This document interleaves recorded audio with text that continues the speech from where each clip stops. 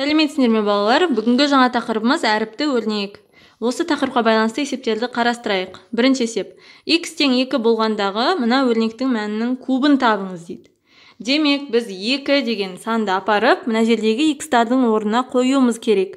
Онда не болады? 2 көбейту. X куб деген жерге мен 2-нің кубы деймін. Алу. 3 көбейту. X квадраттың орнына 2-нің квадраты деймін. Қосу 1 тең болады. Қараңыздар екінің кубы ол қаншаға тең? сегізге тең. екінің квадраты төртке тең. Сонда мен екіні көбейтсем сегізге он алты шығады алу үшті көбейтсем төртке он екі шығады қосу бір. Сонда қараңыздар он алтыдан он екіні аламыз төрт оған бірді қосам бес. Демек жауабы бес шықты. Енді осы өрнектің мәнінің кубын табыңыз дейді. Бестің кубы неге тең? Бестің кубы жүз жиырма беске тең. Ол б нұсқасында тұр. Балалар міндетті түрде бірден онға дейінгі сандардың кубын жаттап алыңыздар. Ол керек болады екінші есеп. Егер мына өрнек беске тең болса онда мына өрнектің мәнін тап дейді. Біз ә, бірінші бізге берілген өрнекке қарайық. Ол жерде не көріп тұрмыз? А квадрат минус б квадрат деген. Не ол? Қысқаша көбейту формуласы. Оны біз ашылуын білуіміз керек. А квадрат минус б квадрат деген формуланы ашатын болсақ а алу б а қосу б деп екі жақшаға жіктеледі. Соны апарамды мен алымға жазам. Демек менде алымда а алу б а қосу б деген екі жақша тұр. Ал бөлімінде а минус б тұр. Тең беске дейді. Осы жерде нені байқадыңыздар? Мына а минус б мен мына а минус б қандай? Екі, екі жақша бірдей болып тұр. Сол кезде мына ортада көбейту тұрған кезде мен екі жақшаны қысқарта аламын. Егер көбейту емес қосу бір нәрсе тұрса ортада ол кезде қысқартуға болмайды. Көбейту тұрған кезде ғана қысқарта аламын. Екеуі қысқарып кетті. Не қалды сонда менде? А қосу б ғана қалды тең беске. Мен а қосу б беске тең екенін білдім. Енді не істеймін? Мына жердегі а қосу б дегеннің орнына бес деп жазам. Міне маған табу керек. А қосу б ның кубы қосу жетіні тап деп тұр ғой. Осы жердегі мына қосу б ның орнына мен не жазам? Мына бесті апарып жаза салам. А қосу б беске тең өйткені. Бестің кубы қосу жеті. Бестің кубы жүз жиырма бес. Жүз жиырма беске жетіні қоссам жүз отыз екі. Жүз отыз екі деген а нұсқасында тұр. Келесі есеп. Егер а қосу б қосу с он екі және екі а қосу екі б қосу үш с отыз бір болса с квадраттың мәнін тап дейді. Ол жерде біз былай етейік. Бірінші мына теңдеуді әкеп жазайық. 2а қосу 2б қосу 3с тең 31 енді мына бірінші теңдеуді екі еселеп әкелейін. Яғни осының барлығын екіге көбейтейін. Сол кезде не болады? Аны екіге көбейтемін. Екі а болып кетеді. Б ны екіге көбейтсем қосу екі б болады. Қосу. С-ны екіге көбейтсем екі с болады. Тең 12-ні екіге көбейтсем 24 енді мен осы екі теңдеуді бір бірінен мүшелеп азайтамын. Азайтқан кезде қазір жойылады. Қараңыздар екі адан екі аны алсам кәдімгідей мүшелеп азайтып жатыр. Мына екі адан мына екі аны алсам жоқ болып кетеді олар. Міне екі а алу екі а. Нөл ғой. Екеуі жойылып кетті. Демек нөл. Мына жерде ештеме жоқ. Екі б-дан мына екі б-ны алсам ол да жоқ болып кетеді. Үш с-дан екі с-ны алсам қаншасы қалады қараңыздар былай болып тұр міне. Үш с алу екі с болып тұр. Тең отыз бірден жиырма төртті алсам қанша? жеті. Үш с-дан екісін алсам бір с ғана қалады. С тең жетіге. Мен с-ның мәнін тауып алдым. Яғни маған берілген екі теңдеуді қолданып бір бірінен мүшелеп азайтқанда менде с тең жеті екенін таптым. Енді с квадраттың мәнін тап дейді. С квадрат деген жетінің квадраты. Ол 49-ға тең. Менде с жауабында тұр екен. Келесі есеп. А б с нақты сандар. Және а квадрат қосу б квадрат қосу с квадрат бір болса онда а б қосу б с қосу а с өрнегінің ең кіші мәні дейді. Қайтадан қысқаша көбейту формуласына ораламыз. Бізде мынандай формула бар. А қосу б қосу с ның квадраты тең болады. А квадрат қосу б квадрат қосу с квадрат қосу 2 аб қосу 2 ац қосу екі бц деген формула бар. Осы жерден не көріп тұрмыз? Бізде мына а квадрат қосу б квадрат қосу с квадрат үшеуінің қосындысы қаншаға тең дейді? Есептің шарты бойынша бірге тең дейді. Демек осы үшеуінің орнына мен қазір бір деп жазамын. Сонда ә, біз білеміз балалар мына санның квадраты санның квадраты әрқашан оң сан болады. Сендер көрдіңіздер ма бір санның квадратын тапқан кезде теріс сан шыққанын жоқ ондай жоқ. Мысалы бестің квадраты 25 оң сан иә? Немесе минус бестің квадраты қанша десем ол да 25 өйткені минус бесті минус беске көбейткенде оң сан шығады. Екі теріс санды көбейткенде оң болады. Сонда әрқашан санның квадраты оң сан болады. Оң сан дегенді артық нөлден деп белгілейміз иә? Ә, сонда қараңыздар менде не болды? Мына үшеуінің орнына бірді жазсам бір қосу. Мына үшеуінде не бар? Үшеуінде де бар нәрсені жақшаның сыртына шығарып жіберейін. Барлығында екі бар. Екіні жақшаның сыртына шығарамын. Сол кезде жақшаның ішінде не қалады? Аб қосу. Ац қосу бц қалады. Осы міне маған мына формула осыған тең еді ғой. Міне осыған тең болды. Біз айттық ол оң сан санның квадраты оң сан болады дедік. Демек артық тең нөлден иә? Неге мен тең деген белгіні алдым? Өйткені ә, не үшін нөлге тең болады? Өйткені нақты сандар деп тұр. Натурал сан десе мысалы нөлге тең бол, болмауы мүмкін. Өйткені натурал сандар бірден басталады ғой. Ал нақты сандар болғандықтан ол нөлге де тең болуы мүмкін. Енді осы теңсіздікті ары қарай шешеміз. Бірді теңсіздіктің арғы жағына жібереміз. Не қалады менде? Екі аб қосу ац қосу бц артық тең минус бірден. Енді мына екіден құтылуым керек. Ол үшін мен не істеймін? Екіге бөлемін. Сонда менде аб қосу ац қосу бц артық тең минус екіден бірден. Міне екіге бөлген кезде қараңыздар мына екіден құтылдым. И мына бірді де екіге бөлем. Сол кезде екіден бір шықты. Сонда жауабы қараңыздар бізге айтады мына аб қосу бц қосу ац өрнегінің ең кіші мәні дейді. Мен оның қараңыздар мен таптым ғой ол осы үшеуінің қосындысы артық тең минус екіден бірден дейді. Координаталық түзуге салып көрсетсем мына жерде минус екіден бір бар болса содан артық тең деген сөз оның мына жағында жатады деген сөз. Енді бізде есептің шартында осы жердегі ең кіші мән дейді. Осы мен штрихтаған аралықтағы ең кіші мән. Қандай сан? Мына жерде біз білеміз қанша бар? Нөл бар иә? Ар жағында бір бар сөйтіп кете береді ғой екі үш деп. Ең кіші сан ол жердегі мына санның өзі. Бұл жер бұл нүкте боялып тұр. Өйткені қараңыздар мына тең белгісі бар кезде ол боялады нүкте боялады да жауапқа кіреді. Тең деген жоқ болса просто артық кем деген белгілер болса ол нүкте боялмайды ол кезде және жауапқа кірмейді. Менде боялып тұр жауапқа кіреді. Минус екіден бір ең кіші сан болып тұр осы жердегі. Ол нөлден де кіші иә? Сонда минус екіден бір болады жауабы. Келесі есеп. Егер x пен y-тің көбейтіндісі алпыс болса онда мына өрнектің мәнін табыңыз. Қараңыздар менде x бөлу бесті мен былай жазайын. Бөлшек арқылы мына бөлу деген мына бөлшек дегенді білдіреді. Көбейту y бөлу екі. Сонда қараңыздар осы екеуін көбейтетін болсам осы екі бөлшекті алымы мен алымы бөлімі мен бөлімі көбейтіледі бес пен екіні көбейткенде он болады алымында x y болады.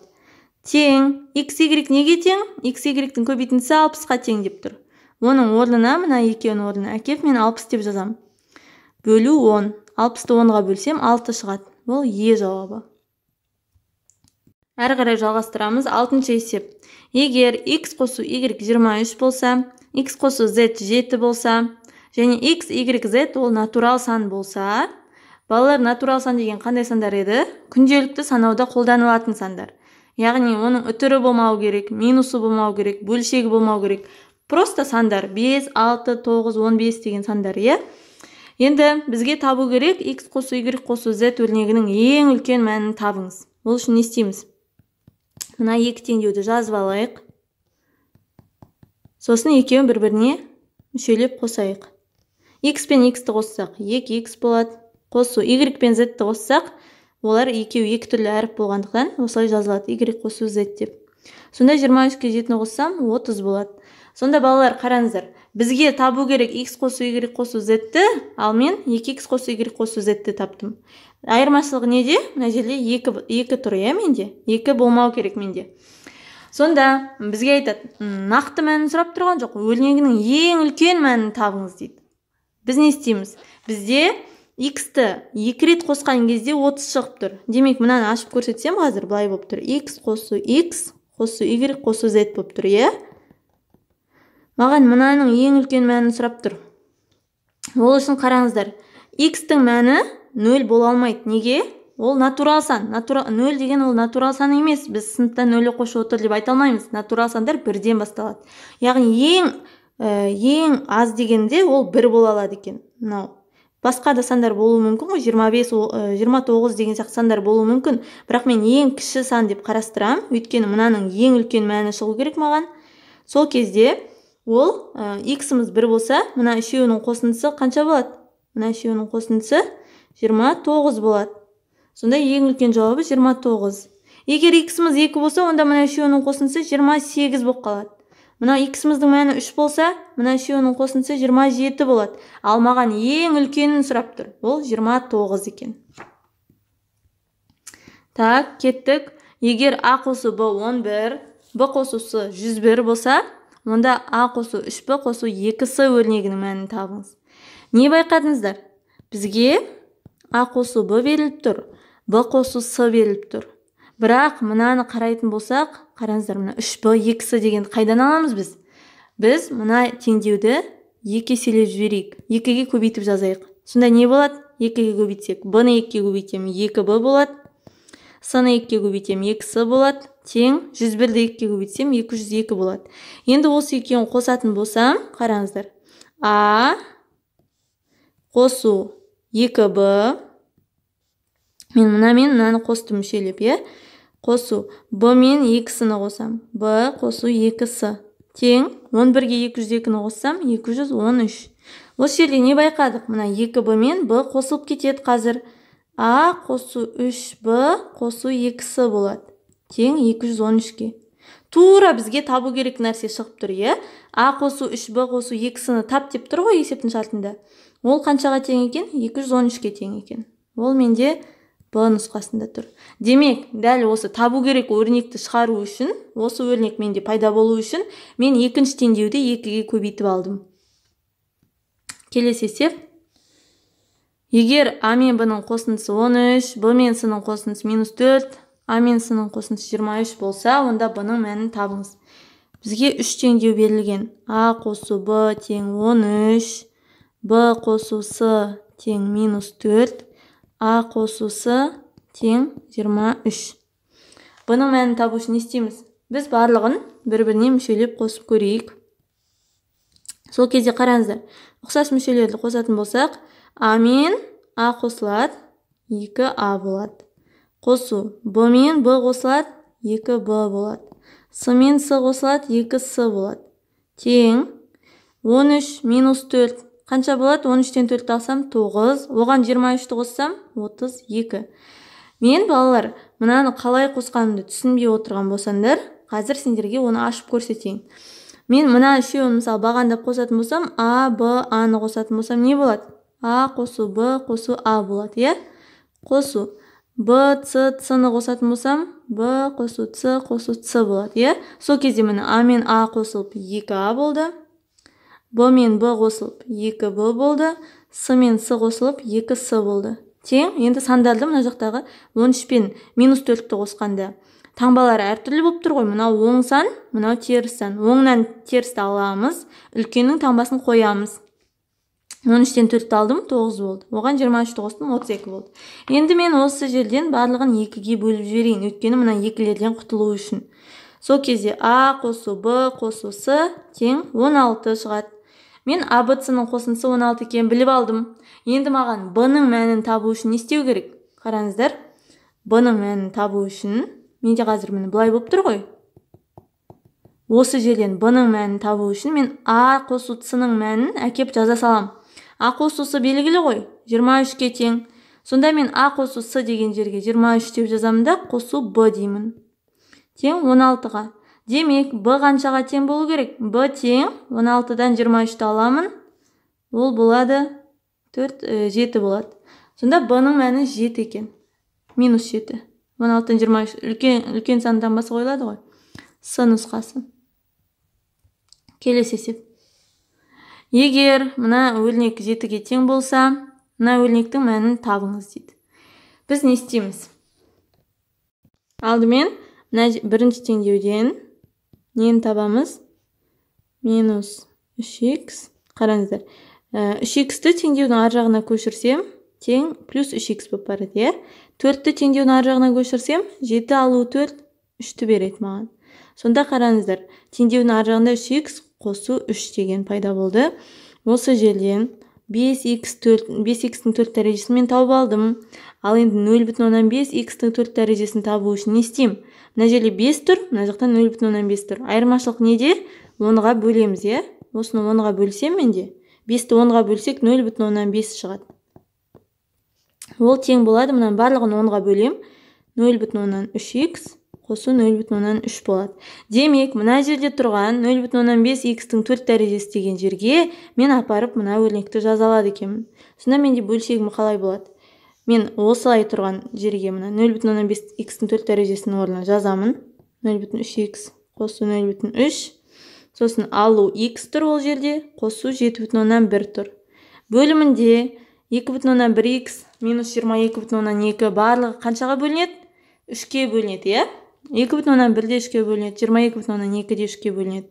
Мен үшке бөлсем не шығады?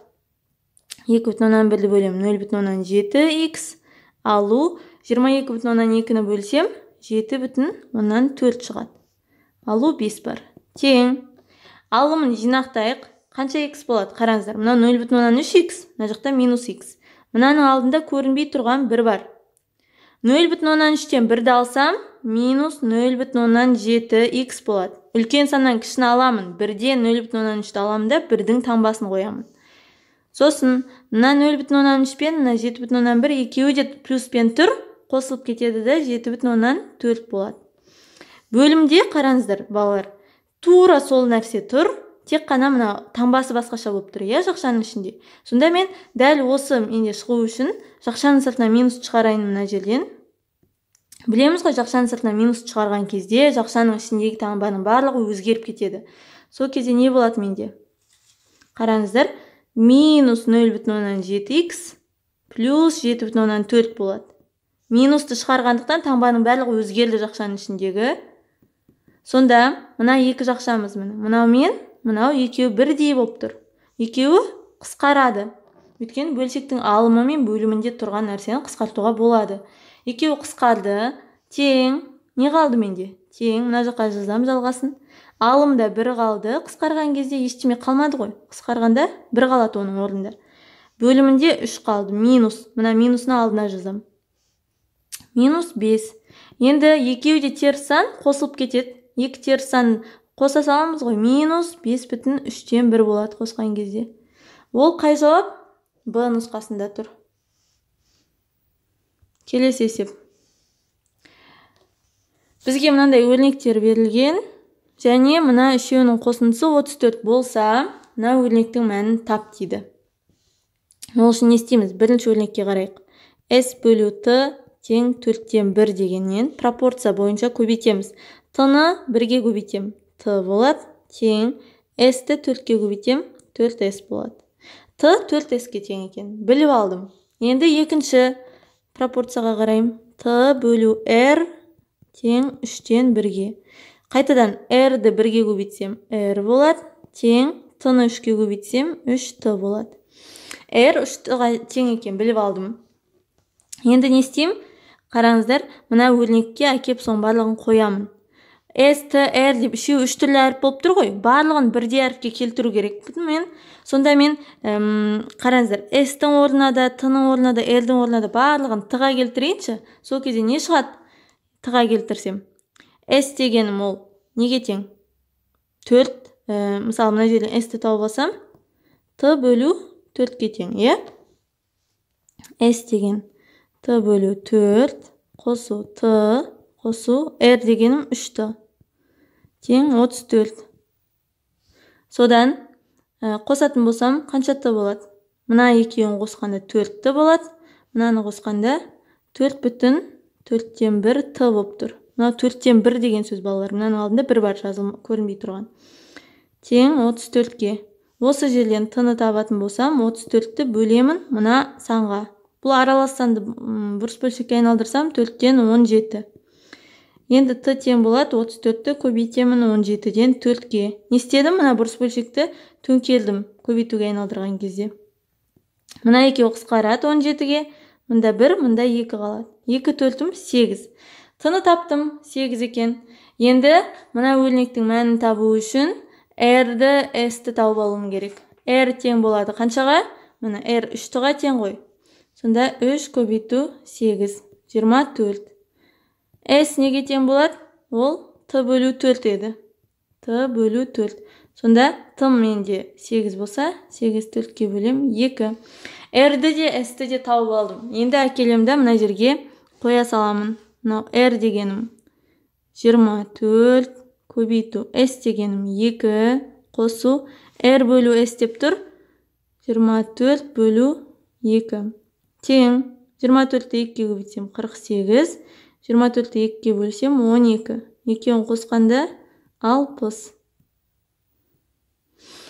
60 деген жауап а нұсқасында тұр. Келесі есеп. Бізге мынандай теңдеу берілген. Онда альфа бета гамма фи натурал сандарының қайсысы үлкен болады? Балалар осындай есеп ә, бірнеше түрлі болып келеді.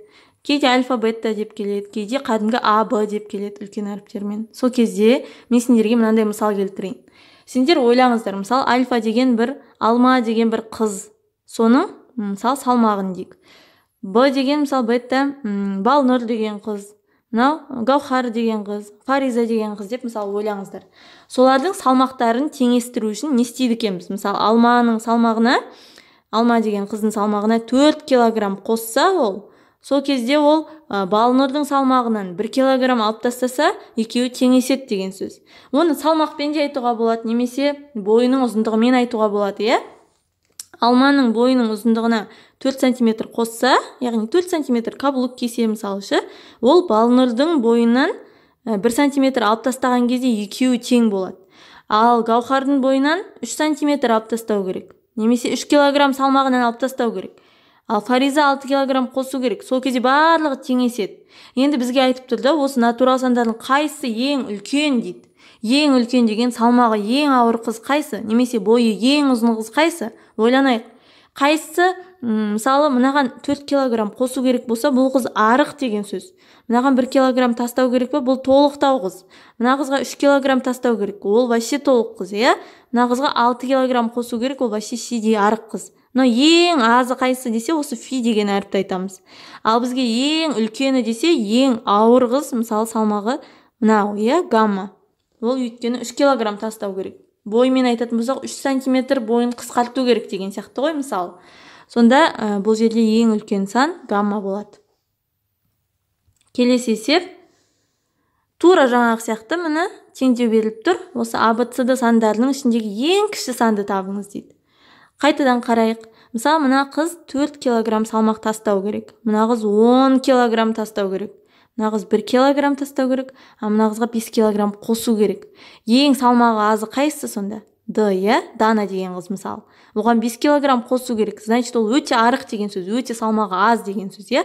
Басқалармен теңесу үшін оған 5 килограмм қосу керек. Ал мына қыз ең салмағы ауыр қыз иә? 10 килограмм тастау керек ол басқа қыздармен теңесу үшін. Сонда түсіндіңіздер ма? Осылай сендер жаттап мысал, осы мысалды солай ассоциация жасап алсаңыздар ұмытпайсыңдар. Тестте қобалжып отырған кезде де осы мысал естеріңе түссе сразу дұрыс жауабын тауып аласыңдар. Бұл жерде д ең кіші сан. Келесі есеп ә, мынандай теңдік берілген. Үш а қосу 18 б қосындысын n арқылы өрнек теңіңіз дейді. Біз не істейміз? Мына теңдеуді жақшаны ашып ә, жинақтап көрейік. Бесті аға көбейтемін бес а қосу бесті б-ға көбейтемін бес б алу үш а тұр қосу жеті б тұр.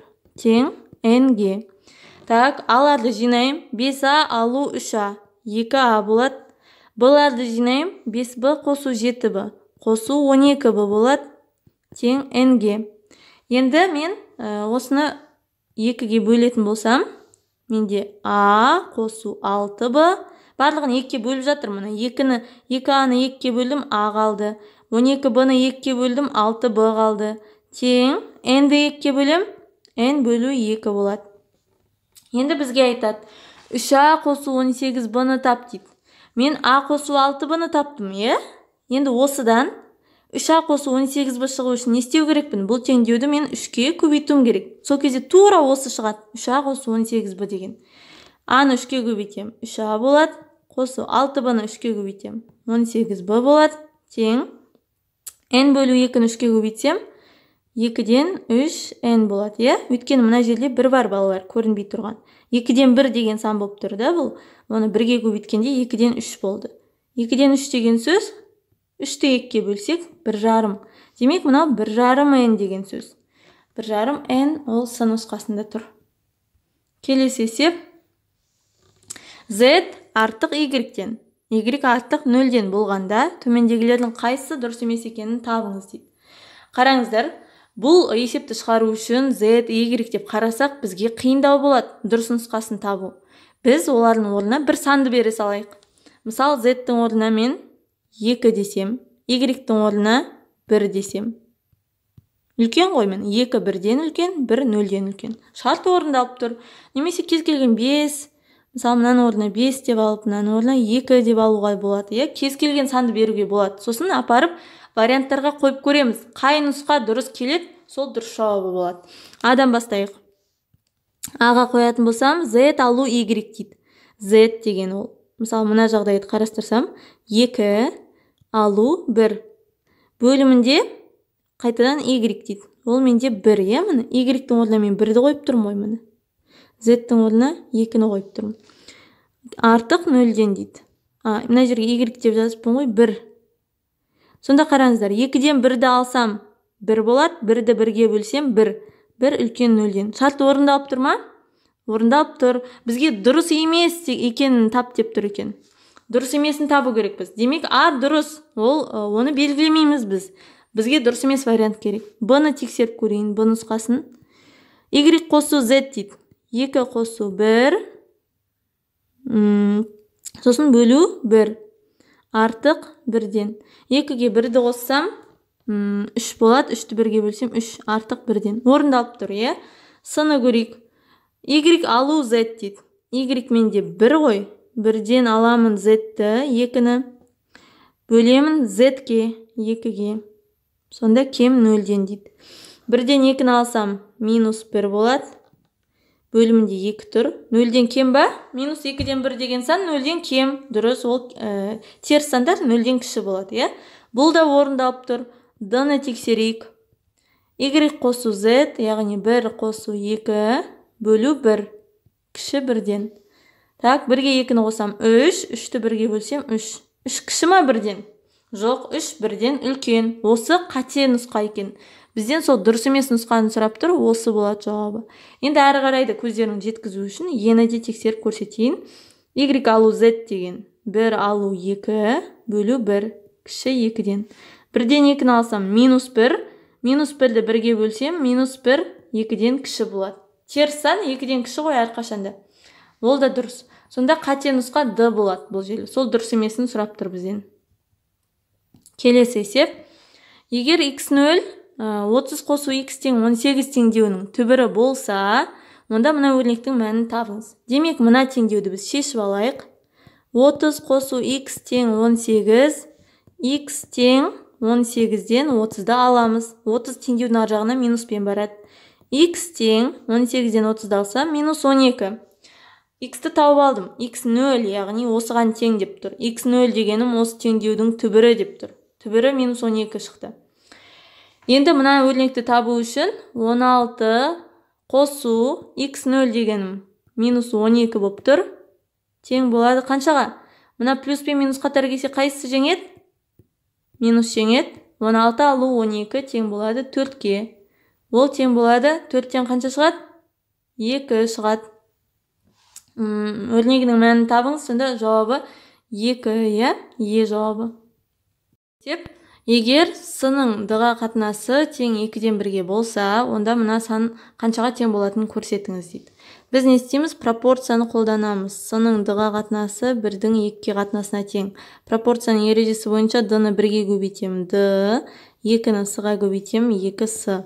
д екі с-ға тең екен. Демек мен әкелемін да енді осы жердегі д-ның орнына осы екі с деген мәнді қойып шығамын екі с дейді. Сосын көбейту д дейді иә міне? Мына д-ның орнына мен екі с деп жазамын. Өйткені екі с-ға тең ғой ол. Алу с квадрат. Бөлімінде д квадрат дейді. д-ның орнына екі с деп жазамын. Оның квадраты. Қосу екі с көбейту д-ның орнына қайтадан екі с деп жазамын. Тең.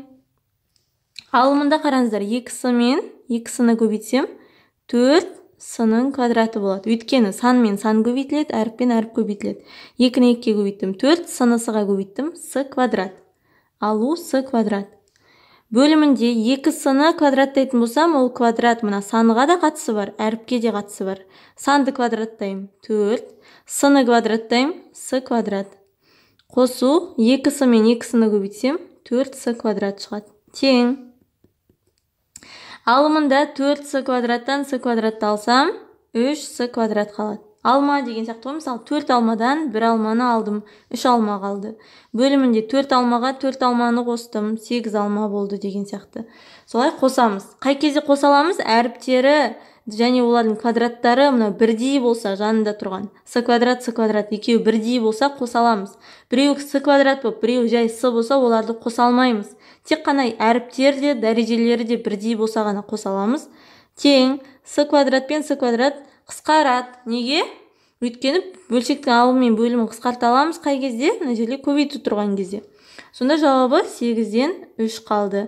Енді жауабының барлығы үтір арқылы тұр иә?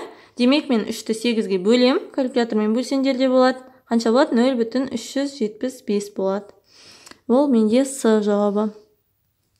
Келесі есеп егер мына өрнек нөлге тең болса онда мына өрнектің мәнін табыңыз дейді. Маған қараңыздар бірінші берілген өрнекті мұқият зерттеп қарайтын болсам мына жерде алымында екі жақша тұр. Бөлімінде екі х квадрат қосу бір тұр. Тең нөлге. Енді пропорция ережесі бойынша қараңыздар нөлдің астында бір бар ғой көрінбей тұрған. Солай көбейтетін болсам мына алымында тұрған мына екі жақшам не істейді? Қайсыған көбейтіледі бірге көбейтіледі сол кезде оның өзі жазылады. Бірге көбейткенде өзі өзгеріссіз тұрады. Тең ал мына бөліміндегі ә, өрнекті нөлге көбейтсем нөл болып кетеді. Нөл өзі көбейтілген кезде кез келген нәрсені нөлге айналдырып жібереді ғой. Санды да әріпті де барлығын иә. Сонда қараңыздар не істейміз енді? Бізде мынандай теңдеу шықты. Осы кезде осы теңдеудің мына жақшаның әрқайсысын жеке жеке нөлге теңестіріп аламыз. Неге? Өйткені қараңыздар балалар мысалы бесті нөлге көбейтсем нөл шығады иә? Немесе нөлді үшке көбейтсем нөл шығады. Демек жауабы нөл болу үшін оның бірінші тұрғаны нөл болуы мүмкін не екінші тұрғаны нөл болуы мүмкін. Мына жақшаның мынау да нөл болуы мүмкін мынау да нөл болуы мүмкін. Әрқайсысын жеке жеке қарастырамыз. Бірінші мына жақ, бірінші жақшаны қарастырсам x квадрат алу x қосу 2 тең нөл десем бұл дискриминантқа саламын. Квадраттық теңдеу болып тұр иә? Дискриминанттың ережесі бойынша b квадрат минус 4 ac еді ғой? Бұл жердегі абц дегендерді қайдан аламын? А деген мынаның алдында тұрған коэффициент б деген мына екінші тұрған x-тің алдында тұрған коэффициент с деген мына сан. Сонда дискриминант тең болады. Б квадратым. Мына жерде бір тұр иә? Минус бір. Минус бірдің квадраты алу төрт көбейту. А дегені мына жерде тұрған бір көрінбей тұрған. С дегені мына екі. Тең. Минус бірдің квадраты қанша? Бір болады. Алу мынаны көбейтсек сегіз. Бірден сегізді алсам минус жеті. Минус жеті деген теріс сан. Демек бұл квадраттық теңдеудің түбірі жоқ деген сөз. Дискриминант теріс сан болып қалды. Демек енді мен үмітім соңғы үмітім қайсыда? Екінші жақшада. X алу бірді нөлге теңестіріп аламын балалар түсініп жатсыңдар ма? Бірінші жақшаны жаңа нөлге теңестіріп алдым. Оның теңдеудің түбірі шықпады. Өйткені теріс сан болып қалды дискриминант. Енді екінші жақшаны нөлге теңестірдім. Осы жерден x-ті тауып аламын x тең бір теңдеудің арғы жағына барса плюс бір болып барады. X тең бірге деген шешімін таптым. Енді x бірге тең екен. Енді не істеймін? Маған табу керек өрнекке қараймын. Мынаны табу керекпін ғой. Осы жердегі x-тардың орнына бірді апарып қоямын бірдің кубы қаншаға тең? Бірге тең иә? Бірдің кез келген дәрежесі бірге тең. Тіпті бірдің миллион дәрежесі десе де ол да бірге тең иә? Сонда мынаның барлығы қосу бір қосу бір қосу бір шығады. Бірдің үш мың үш жүз үш отыз үш дәрежесін тапсақ та ол ол да бірге тең. Бірді үш жүз рет өзіне көбейтсең де отыз үш рет өзіне көбейтсең де ол бір шыға береді. Сонда осының барлығын қоссақ төрт шығады. Жауабы е. Есеп. X квадрат алу 10 тең 0 теңдеуінің түбірлері абсцисса өсіндегі кесіндінің ұштарындағы нүктелердің мәндері болса онда осы нүктелердің арасында неше бүтін сан бар екенін табыңыз. Не істейміз? Қараңыздар. Бізде x өсі бар мынандай? Және y өсі бар иә? Бізге абсцисса деп тұр. Абсцисса деген ол x өсі. Сендерге осыны жаттап алудың бір оңай тәсілін айтайын. Абсцисса дегенде екі с көріп тұрсыңдар. Сол бірінші сыны төңкерсеңдер былай болады иә? Сосын екіншісіні жазсаңдар былай болады. Сонда екі с бір сыны төңкерген кезде тура х-ті беріп тұр иә бізге? Демек абсцисса өсі деген десе сразу x өсін есімізге түсіреміз. Ал ордината деген демек y өсі болады. Енді бізге мына теңдеуді шешіп алу керек. X квадрат алу 10 тең 0 осы жерден x квадратты табатын болсам 10 теңдеудің арғы жағына барады.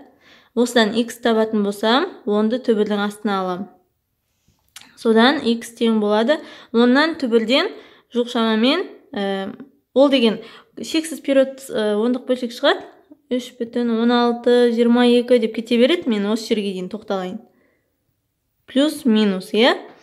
Енді қараңыздар.